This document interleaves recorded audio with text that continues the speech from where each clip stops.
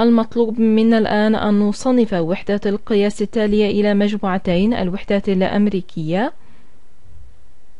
والوحدات المترية. إذا هذان نظامان مختلفان وسوف يصبحان مألوفان بالنسبة لكم. ثم حدد فيما إذا كانت كل وحدة تقيس الطول الوزن الكتلة أو الحجم. دعونا نحل الشق الأول لنرى أي من هذه تعتبر وحدة أمريكية وأي منها تعتبر وحدة مترية. إذا اللتر وحدة مترية. اللتر وحدة مترية. آه، تستخدمها في النظام المتري. الجالون وحدة أمريكية. لقد تعاملنا معها. آه، إذا قمت بتعبئة البنزين في أحد الدول العربية فسوف تعبئه بدلالة اللتر. أما في الولايات المتحدة فسوف تعبئه بدلالة الجالون. وسوف نتحدث أي منها تعتبر للحجم وما وأي منها لا تعتبر كذلك. الديسيغرام يعتبر نظام متري إنه نظام متري بشكل عام عندما ترى هذه المقاطع ديسي سنتي كيلو فأنت تتعامل مع نظام متري. لا يمكن لأحد أن يقول كيلو رطل. نفس الشيء بالنسبة للمليمتر. إنه نظام متري الغرام نظام متري المتر نظام متري. القدم وحدة قياس أمريكية.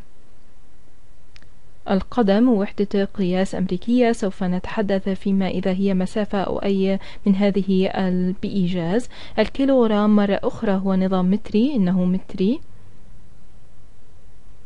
في حال أنك لم تدرك ما أفعل هنا فأنني أستخدم اللون الأزرق للدلالة على النظام المتري ولون الأرجواني للوحدات الأمريكية. السنتيلتر يعتبر متري. السنتيلتر يعتبر متري.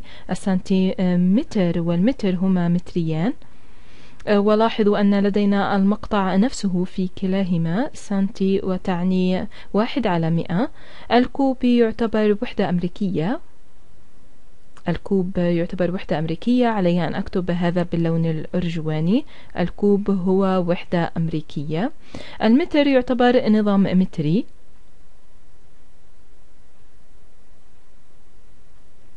الرطل هو وحدة أمريكية أو ال pound ما يعرف بال pound آه هذا ممل قليلا. إنش نفس الشيء هذا ما, نست... ما تستخدمه الولايات المتحدة. إذا إنش وحدة أمريكية الأوقية آه تستخدمها الولايات المتحدة آه ثم اليارد تستخدمها الولايات المتحدة. لقد قسمناها إلى آه مجموعتان.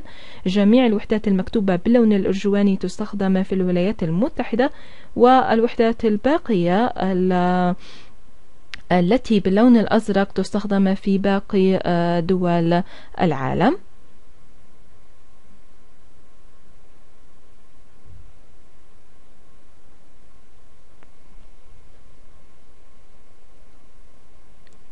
الشيء التالي الآن هو أن نجد فيما إذا آه، الوحدات تقيس الطول الوزن الوزن أو الكتلة.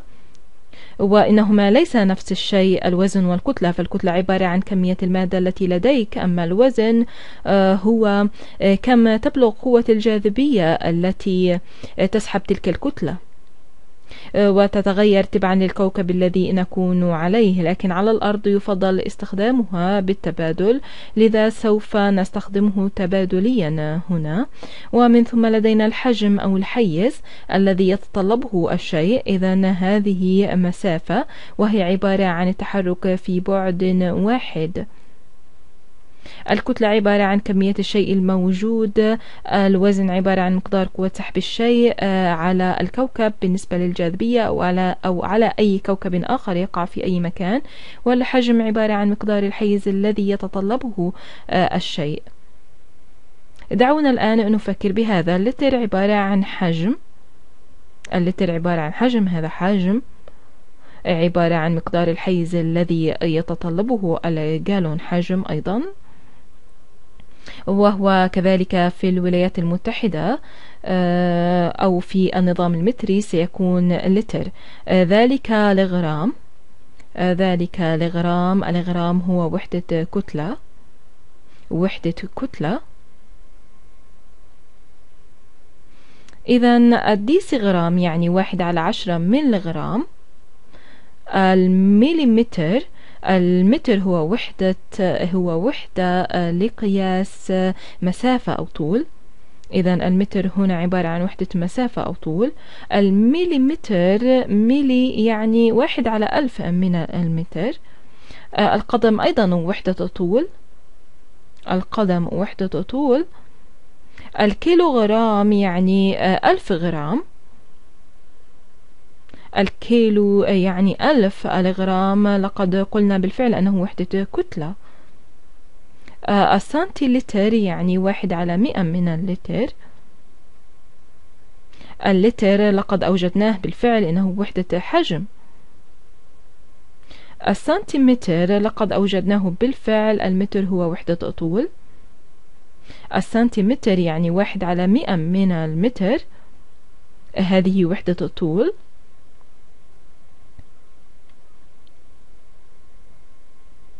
الكوب لقد رأيناه لعدة مرات. إنه وحدة حجم ويعبر عن مقدار الحيز الذي الذي يشغله الشيء المتر يقيس الطول. لقد رأيناه بالفعل. الرطل إنه في الواقع وحدة وزن. رطل أو باوند إنها وحدة وزن. الإنش وحدة طول.